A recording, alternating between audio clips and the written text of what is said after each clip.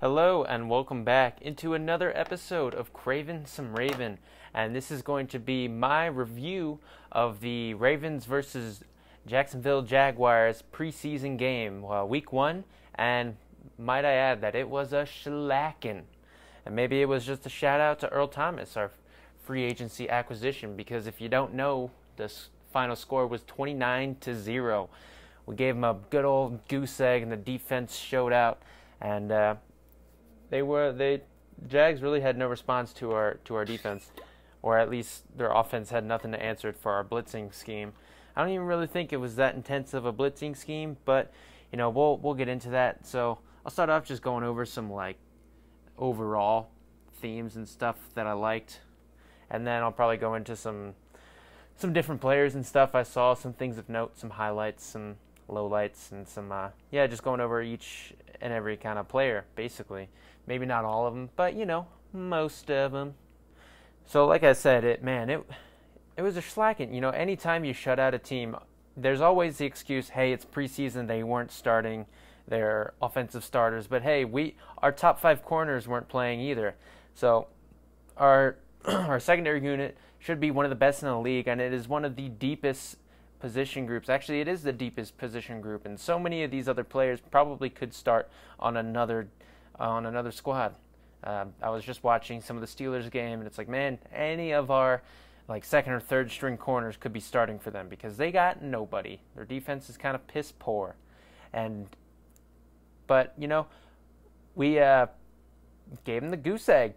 And anytime you shut someone out, you know, like I said, there are those excuses, but these are professional football players. It is not easy to stifle someone for that long. It doesn't matter, especially in the preseason once you get your second and third team guys in there where they're not they're not the best NFL players and a lot of them won't even subsequently be on the team. Uh, a lot of them won't make the final roster, but yet they're still competing, still fighting for their jobs. And that's why preseason in general that it can be some awesome football, especially if you're a super fan of a single team. You're following every single player, like I am, so you know all their names. You don't want to see them cut, but you know it happens. But they're fighting for their jobs, so they're playing super hard. And the same goes for the other team. All these players are playing super hard, but luckily the Ravens have one of the deepest deepest rosters in the entire league, and that's part of the reason why they've gone undefeated. And so they've expanded their their preseason win streak to 14, and I couldn't be happier. I know it is just preseason and it doesn't matter, but you know what? Winning is winning, and it still feels good. You know, you'd rather would you rather beat someone 29-0 or be beaten 29-0? Would you rather be shut out or cause a shutout? Let's be honest. But you know, starting things off when you started the game, uh, you know, they say Lamar Jackson. You know, he wasn't perfect, but he looked good. I mean, I when I saw it, I saw. I don't know if it's just me, but Lamar looked like he wasn't in a good mood while he was playing. His body language just wasn't wasn't there, you know. And uh, before before I get more into this, um, I wanted I wanted to record this after I got a chance to watch the game again. You know, you watch it the first time, your emotions are all over the place. You know, football's finally back. Oh my God! And I just wanted to watch it again to really, you know, key in on some of the players who had some highlights and you know, kind of watch them throughout the game a little bit more. You know, watch them with some heavier eyes. But um, I don't have Game Pass, and I was trying to find a way where I could watch it again without paying 99 bucks. But you know what? I might have to just do that or because I haven't found a way to watch games replays for free unless I just uh, hit up the Reddit streams and then like recorded my computer, and so I could have them personally and then watch them again. But you know, we'll we'll have to look into that and see how that goes. But you know, I, I just didn't want to pay because you know money is money's tight. It I'm not I'm not rich, so so, but I, I wanted to I wanted to watch it again, you know, just to get a, a second a second look. You know, you always see something that you didn't quite see. And with anything, you know, you watch a movie a second time, you'll see some foreshadowing that you didn't catch. So I'm just doing this based off of memory and then a day going by. And I, have seen a few breakdowns, or at least people talking about the breakdown, but you know, every, they haven't. I haven't caught my eye onto stuff that I hadn't seen or didn't notice. But with that being said, going back, Lamar, yeah, he looked like he his head, he, he kept his shoulders looked low uh, on the very first play, right before uh, he hiked the ball, he was still looking at his wristband like he didn't know what the play was or what the route combination was or which way he had to turn. It looked like he was looking over the play before he was going it. And I know uh, the offense, it wasn't this revolutionary offense. They were doing a very basic, basic offense, like most teams kind of do. And it kind of showed that they were pretty lethargic. I mean, Lamar Jackson did, ha- did have his moments. He did uh, overthrow or miss a few guys. But all in all, he made a quite quite a few good uh, completions. I really liked what I saw. I saw some progression. You know, as long as you see progress, you see someone improving, then that's then that's good. And so the offense, you know, they put up 29 points. There's a lot of kicked field goals. I wish they would have capped off some more drives with some touchdowns, but you know, let's save that for another day. Let's hope it is only the first preseason game, and luckily our defense was just playing lights out. So really, all they needed was one one kick, and that and they would have won the game. I mean, and this was this was two defensive teams in general, you know, going at it. So it was good to see our our base offense at least be able to produce against a a good defense. And I know, hey, they didn't have their starters, but neither did we. And it, it, production's production. It do, it doesn't fucking matter. These are still some of the best football players in the world, even if some of them aren't aren't going to end up making a final 53. They are still some of the best football players in the world. They'd beat anybody on the street in a fight in a in any kind of football contest. So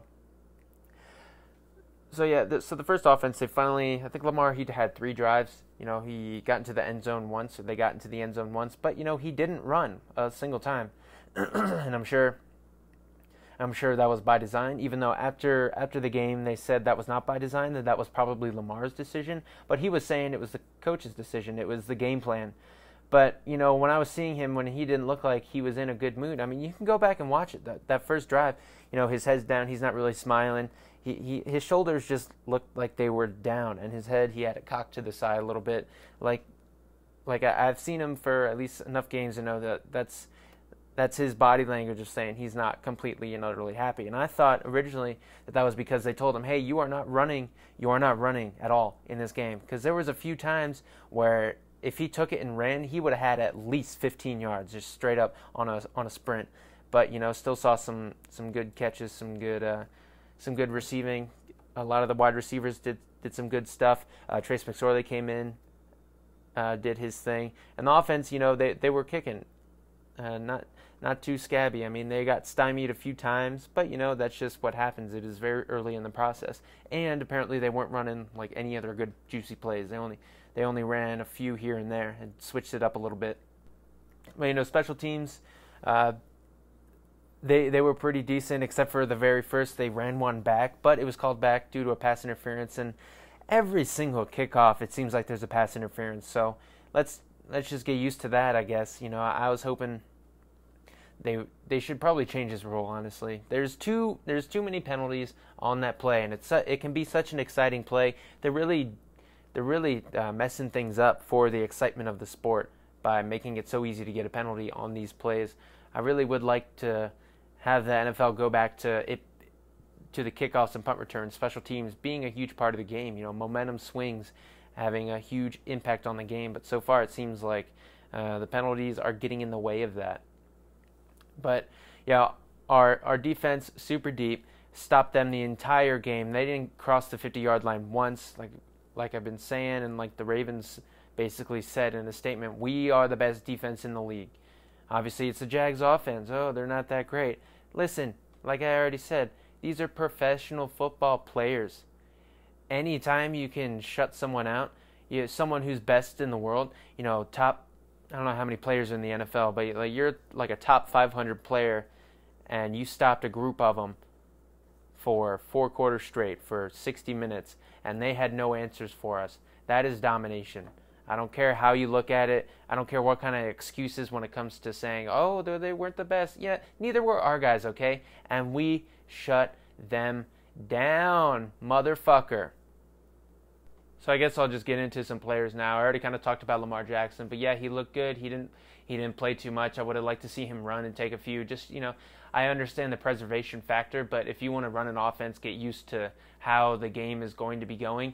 You know, you go ahead and tuck it once or twice. You know, obviously don't take the big hit, but you know, get get into the flow of the game and and it's basically practice for a game and practice like you play. You know, I, I, w- I would rather see him get a first down and maybe take a hit than not take any and then you know we end up having having a three and out or get stymied on a drive. But you know, all in all, Lamar he looked better. He looked improved. Obviously, still not the best pocket passer, but I don't think he ever will be. And that's what it is. His legs far and away make up for that. So, so it was good to see some improvement from him.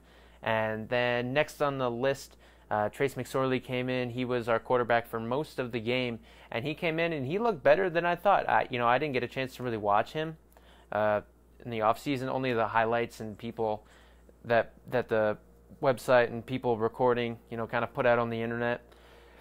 And people people who have gone to practices and talked about it, and they said he was looking pretty decent. And I really liked what I saw. He didn't look like a sixth round draft pick. He didn't look like a sixth round uh, quarterback pick. Even though you can always just point to, you know, Tom Brady was a sixth round draft pick, so maybe McSorley will be Tom Brady. You know, who knows? But he is quite the goddamn competitor. You know, he he wasn't the he wasn't a perfect passer, but not by a long shot. But he throw a bunch of beautiful balls. He'd let his guys, his wide receivers, he'd throw some up and let them compete for it. And I really liked the way he managed the game. He was fighting, he was competing, and that was his kind of thing coming out of college. He's he is a gamer. He is someone who gets in there and and uh, goes full tilt, 130% as they say. You know, I'm, I'm putting in 110%. Motherfucker, that's impossible. So quit with your stupid statement and get out there and play some football. But no, I, I was I was impressed by Trace McSorley. I thought he handled the offense very well. You know, coming like I said, coming in to the NFL as a six round draft pick, uh, getting a few plays under his belt, running, you know, looking fast on the field, looking decisive, uh, not not taking too many hits. You know, making just good decisions and commanding the offense with some poise.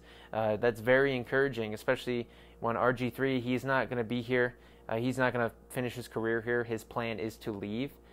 And so it's good to see that Trace McSorley it looks like a viable backup. You know, in a in a pinch situation, if Lamar happens to go down for a couple plays, like he did twice last year, which I hope doesn't happen, but it, it seems like Trace McSorley can come in and command the same exact offense because he's a similar type quarterback. And I just you know really liked what I saw from him. And obviously RG3 he did not play because of that finger in, uh, thumb injury that uh, I think he's got like a hairline fracture, and it's it's a fracture, but not in his hairline. It's a fracture, a hairline fracture. It that that always confused me. He's got a fracture. There's so many people could just get all sorts of fractures in their hairline. Crazy. Um, anyways, yeah, no. So he didn't play. Uh, I'm sure he could. I'm sure he could go out there. He's he's throwing in practice right now, but you know they don't want to risk it. You know there, there's no biscuit to get, so why would you risk it?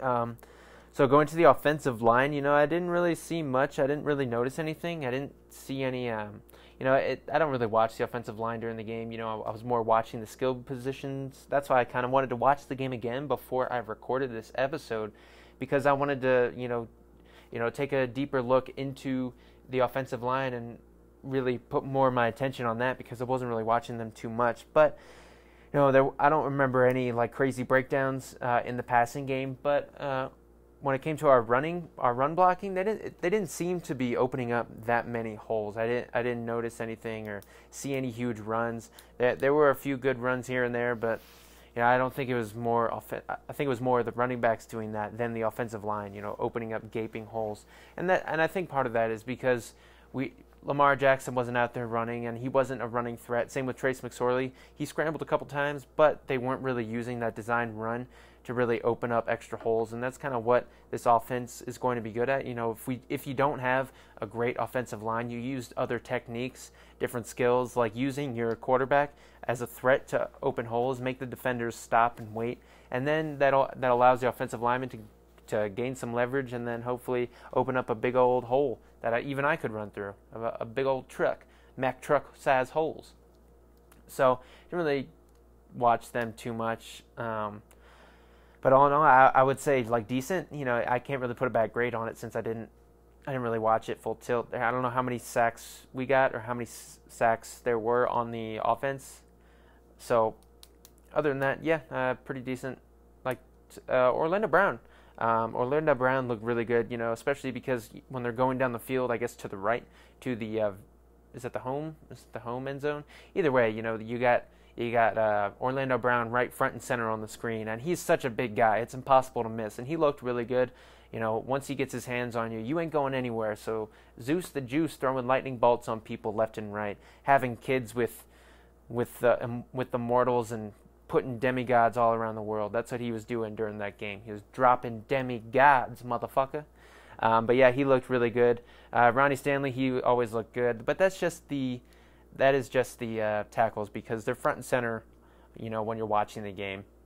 Uh, tight ends, uh, I don't think they really produced too much other than uh, undrafted guys. And you know, uh, the one guy he, he went out and make a, made a diving catch, and so that was good to see, especially on a third down. So he went went and dove for the ball, fighting for his roster spot, fighting for the ball, and he went and went ahead and got it. The other guy, I think it was Scarff. You know, I saw him. He caught one, but he dropped another one. Uh, he dropped one that was an important play too, and it looked and it looked like he could have caught it. So that was that was disappointing. Um, but you know, we, we have the starting the starting three already set, and I, there's no reason to be nervous about that. You know, they didn't really have much production, but I think they wanted to work the wide receivers and running backs more in this game. Uh, so moving on to uh, let's let's just go running backs first. We'll save wide receivers for last on the offensive side of the ball because everyone loves the wide receivers and loves talking about them. So we'll wait we'll wait next for that.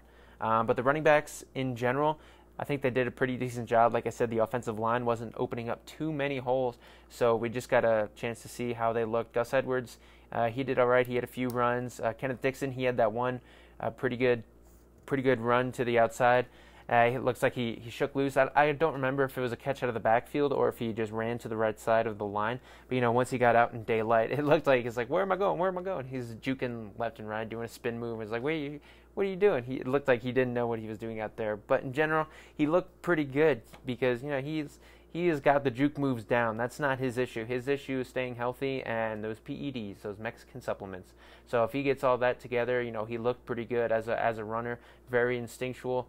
And uh, if if he continues that kind of play without injury and all that, I think he can make this team. Uh, our our rookie, uh, Mark Ingram, he did not play, so we didn't get a chance to see anything from him. But our rookie Justice Hill, I thought he was out of everybody, he was the most impressive to me. He looked the most explosive. He looked, I know he is like the, one of the fastest guys, but you know he looked like he was fighting hard, fighting for extra yards, uh, turning his legs to the very last second. I remember that wheel route. It was on a third down. Trace McSorley passed it to him, and he looked dead to rights. It looked like it was going to be a stop for like two yards, but he got around that corner with his speed and uh, cut up the sideline for some extra yards. Ended up being like a 12 or 15 yard 15 yard play, and uh, that was really good, especially on a third down, fighting for your yards. But yeah, I thought I thought Justice Hill looked very good. He looked fast, he looked quick, uh, and once he gets into the open field, that's when he's dangerous. Uh, he only got into the open field twice, but he had people around him, like a lot of people, so he didn't have a huge chance to make people miss. And then inside the line, I, I thought he did pretty decent, just fighting really hard, looking really quick. Because all of them, all of our running backs, he looked the quickest. And you know, if you if you just want to have the fastest offense on the field, which is what I think the Ravens are kind of going for, it looked that it kind of it kind of looked like he could be in the starting lineup. Uh, I wouldn't I wouldn't be mad if you had him back there. You know, change of pace type guy as of for right now. But when it comes to in the future, maybe down the line, you need some fresh legs to start a drive off. You know, let's say someone gets injured, and you know that's you know that's why kind of Gus Edwards and Kenneth Dixon they came on at the end of the year because they were fresh. They they didn't really play all that much all season. So when they came in, they had fresh legs, ready to run quick. Uh, their legs weren't all beat up.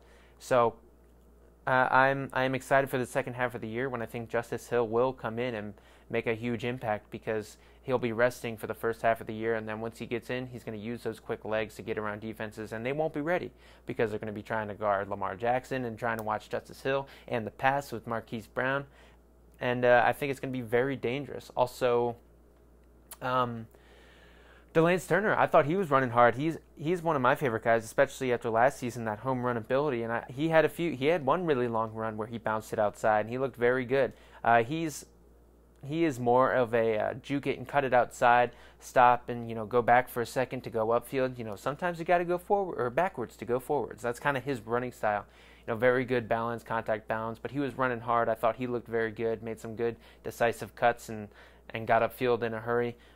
Really good to see from him. Good to see him continue that kind of streak that he uh, ended with last year. He he did make the roster before Gus Edwards, so obviously the Ravens really liked his running style and what he brought to the table, and it's good to see him get in there.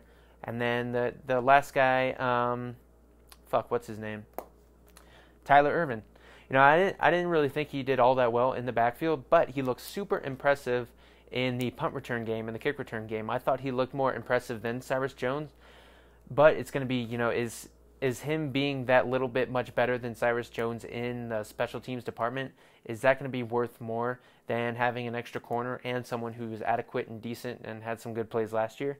You know, I, it's going to be very tough for him to make this roster unless he, if he, if he brings like two or three to the house during the preseason, then I could see him making the roster over Cyrus Jones. But I think they like Cyrus Jones not only uh, in special teams. I think he's very adequate punt returner, but I think they also like his ability to to uh, play the corner position, and he's not he's not too shabby. He got that interception, so you know that, that is going to be a battle that we have to continue to watch, and I am excited to see going forward.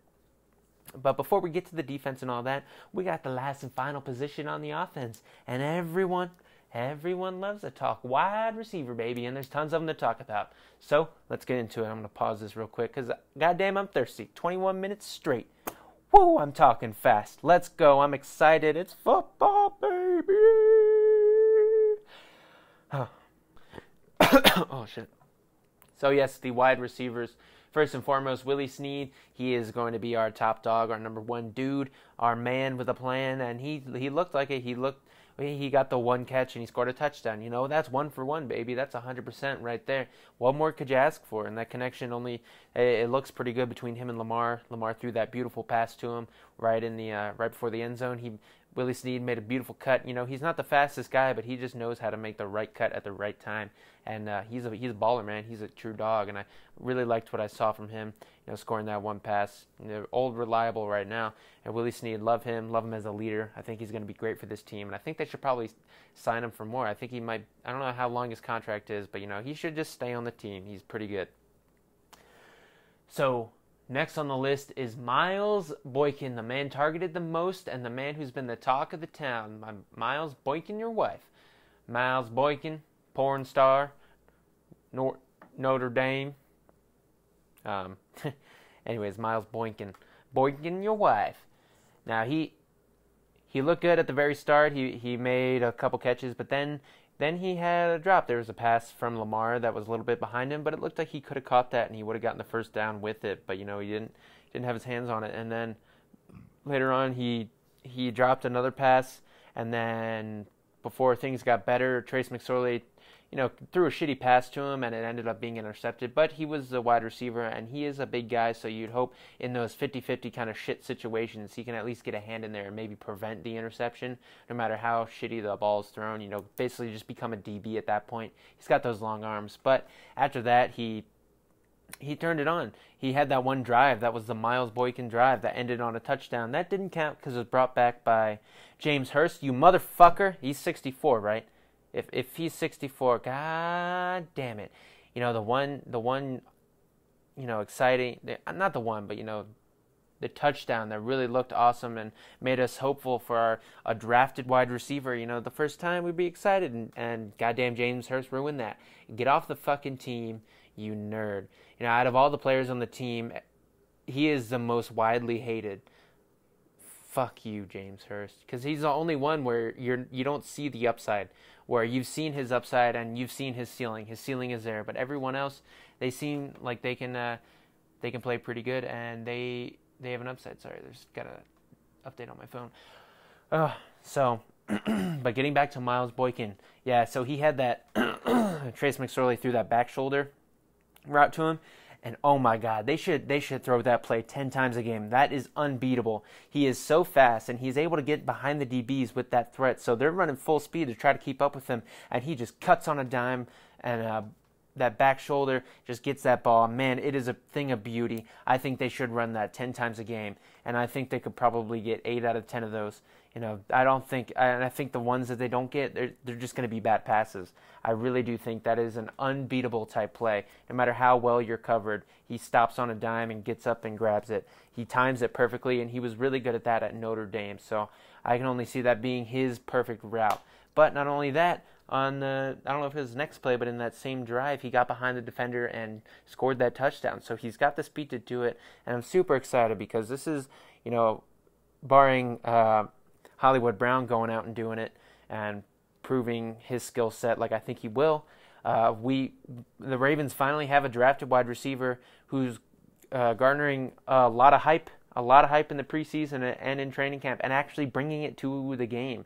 And I think the the Ravens they saw his potential in training camp. That's why after those first few little dropsy woes, uh, they kept going to him because they, they saw they saw the potential in training camp and they wanted to see him produce, you know, get over and see if he can get over those uh, those woes and see if he can shake off a bad play. And he did it, and he did it well. And I'm super excited. I can't wait to see him run with the starters. And I'm uh, I'm I'm I'm a huge fan of Miles Boykin. Uh, I think he is now a sleeper in this draft. Probably should have been drafted higher now with uh, you know everything everything that we know now. You know, 2020 hindsight's 2020.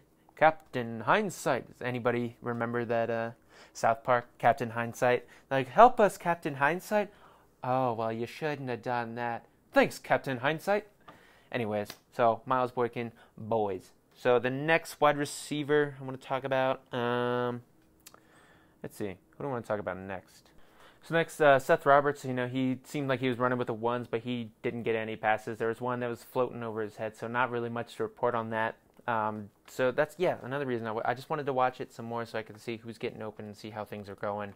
Um, let's see. Uh, I want to talk about Jaleel Scott because Jaleel Scott he he looks like the biggest dude out there. He looks super tall, looks super explosive. He caught that one awesome over the shoulder, not over the shoulder, but you know, another one of those back shoulder throws that he was just thrown up and he caught it. I would have liked to see him extend those arms because he is so long and lean and he's such a big big guy. And and, I, and I'm wondering, I'm honestly wondering because he seems like he's killing it in training camp. That's at least the word out of camp, and he did it in in the game. And for whatever reason, I thought he'd be running with the twos or the threes. I really thought he would be he'd be working more with them. Um, I don't know why. I really don't, and it makes me wonder if he's actually in the doghouse. I don't. I don't know why. I did. I remember seeing an interview with him, and he's he. They were talking about special teams, and he his facial expressions were like, "Nah, fuck special teams." But he is like, "Nah, it's it's okay. Special teams is all right." But I didn't really believe him. Um, let's see another wide receiver. Uh, Antoine Wesley, he had the one drop, and he he was killing it in camp, but you know it seemed like he wasn't. So I'd like to see some more from him. Um, but let's see who else. Sean Modster, he had a few catches. It's going to be tough for him to make the team, but you know you still like to see what he what he uh, brings to the table. He could possibly make the practice squad. You know he's short and shift, shifty. Uh, I didn't see uh, Joe Horn Jr. at all, uh, so you know we'll have to wait and see on that. Uh, Jaylen Smith, he had one like mecha toss thrown to him, like a hail mary type situation. That was terribly overthrown, so really didn't get to see much much else from him. Um, any other wide receivers? I know I'm missing. I know I'm missing people. But either way, we'll move on to the defense. Um, a lot of our starters did not play. Uh, we our, our top five corners did not play, but you know, the corners came through. They stopped a lot of people individually. Uh, Anthony Averett, he had a few catches over him, but he looked pretty locked down. They they targeted him a lot in that game, but I really liked what I saw from him. I've gone over him in the past, and I really liked him as a player. Um, other than that, let's see. Um, Stanley Jean Baptiste was in the game. I think he had a, a pass breakup towards the end. Um, uh, Iman Marshall, he wasn't targeted at all, but I, I saw him have like a nice hit on special teams. Um, any of the other corners? Oh yeah, Cyrus Jones. He had that pick six, and that was awesome. You know, he read that perfectly, and that wasn't his guy that he was guarding. He he dropped off of his guy when he saw the ball being thrown, and he grabbed that, picked it off, and took it to the house. And the reason he got that pick is because of our pass rush. So I'll just move on to them. I think our our D line looked very good, and in general, um, Wink Martindale he was blitzing all game. You know the the common theme in preseason is you don't blitz, you don't do any crazy plays. But Wink Martindale, he is a blitzing scheme, so he is going to go ahead and do that. You know, see how the players look. He wants to see how how well his guys perform. Um, let's see. Players that I that I liked. Uh, Tim Williams, he looked like he was living in the backfield. He looked like he was good up against the run. I thought he was doing well. Chris Wormley, he had a few good plays uh, in the backfield. Uh, Brandon Williams didn't play. Michael Pierce, he's stout as always. Uh, I saw Willie Henry getting into the backfield a few times. Um, uh, rookie Daylon Mack, he he looked like he held his own. He looked like at in a pinch, you know, he could step in for Brandon Williams or Michael Pierce. He brings that same skill set, run stuffing, and then also I thought there was a there was a few times where he's breaking into the backfield or there's like a blown play, and he looked athletic and quick out there. You know, strong at the point of attack and then quick in the pass game. I really liked what I saw from him, and then. Oh yeah, Tyus Bowser, he was also looking good. You know, these second year guys, Tim Williams and Tyus Bowser, both both killing it, both both looking really good. Uh, really liking what I'm seeing from them, especially in these contract years. You know, it's super important for them to uh, make their make themselves known, and I think they did a pretty good job. Especially Tyus Bowser, I saw him in coverage, and he was on his man the entire time, looking real good.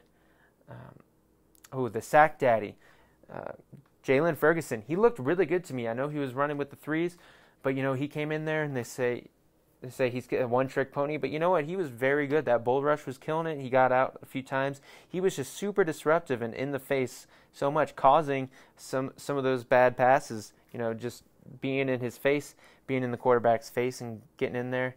Uh, I really liked what I saw from him, looking pretty promising. Also, uh, Shane Ray, I saw a few good plays from him, but then it seemed like he just disappeared. Another guy on the defensive line at the very end of the game, um, out of nowhere uh, number 51, I don't know who it is, but he was working hard. He was hustling. He was living in the backfield. He had a tip pass that was looking very, very good. I really liked what I saw.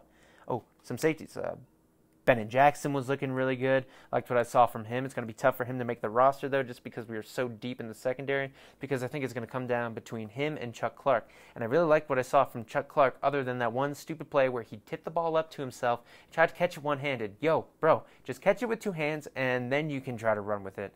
But you know that was a super impressive play. The way he went up and high pointed that as hard as he could, as quick as he, or um, just really got up there. Really, really got up there. Sorry, I'm talking really quick because I'm trying to end this as soon as I can. I'm trying to get this over so I can check on something else. But um, yeah, and I, I, just talk fast, and, I, and I'm trying to remember. But you know what? I'm just gonna go ahead and get through this. Um, let's see. Who else did I like? Ooh, yeah, we got to talk about the linebackers because Peanut was all over the field. He was looking good. He looked mid-season form. He looked like the dog. He was smacking people. He was on every single play. He was punishing people. That Peanut punch, man, he was looking good. I'm super excited. Can't wait for him to uh, for us to start the season and see what he can actually do with a full game, you know, running fast, running mean, you know, really setting the tone on defense. And next to him, Chris Board, he got the start. But, you know, I thought Kenny Young uh, played better. I, I thought Kenny Young made more plays. There was one play where it looked like he kind of had a blown assignment, blown assignment, but Chris Board also had the same thing. And maybe Chris Board is a better practicer than Kenny Young because I really liked I really liked what I saw from Kenny Young more. And I think maybe uh, putting Board higher on the depth chart was just a way to motivate uh, was a way to motivate Kenny Young. You know, he had that huge destroying hit, knocked the helmet off of Gardner Minshew. God damn, that was a thing of beauty. I was hoping it would be a, uh, a safety, but you know it wasn't. It was pretty close, but it, it wasn't. And uh, that Gardner Minshew man, he needs to tighten his helmet because that thing was flying off all game. Um, let's see who else. Who else impressed me? Oh, Otaro Alaka, he snuck through the line and got a tackle in the backfield. I really like that. You know, he's not fast, but he is, you know, one of those run game type guys. But you know, if it speed doesn't really matter as long as you know what you're doing. You know, smarts far outweigh um, far outweigh speed. You know, there is there is that point, that tipping point, but you know, if you're a step faster and a step slower, that it equals out. Um, but he looked like he was a step quicker, and he, he, he looked like he's very good up against the run. Didn't really see much of him in coverage, but all in all, man, all in all, great great team win. I know I probably missed a few players. I'm gonna do another episode breaking down and previewing the preseason, but I'm gonna try to end this episode pretty quickly, but I really liked what I saw from the team. They were playing hard, playing fast, especially on defense, man. If they can if they can bring any of that into the into the season, yeah, I, am gonna I'm super excited, man. I'm very stoked to see how this team does. You know, uh, Green Bay is going to be coming to town. Hopefully, uh, Aaron Rodgers is going to play, and hopefully we can make a fool of him too. You know, hopefully we can send some blitzes and knock his ass down. Hopefully, no, not hopefully injure him, but you know, let it be known that hey, this defense is here to stay. We are the number one defense in the league, so let's play like it like it is. We didn't have a lot of starters playing, obviously, on the back end of the defense, but you know, I think it, it, our game will only improve with those guys in there. Uh, so with that being said, uh, it was a good game, loved it, and I'll leave you with a go. Ravens. Now, now I'll I'll leave it. That was all right. Thanks.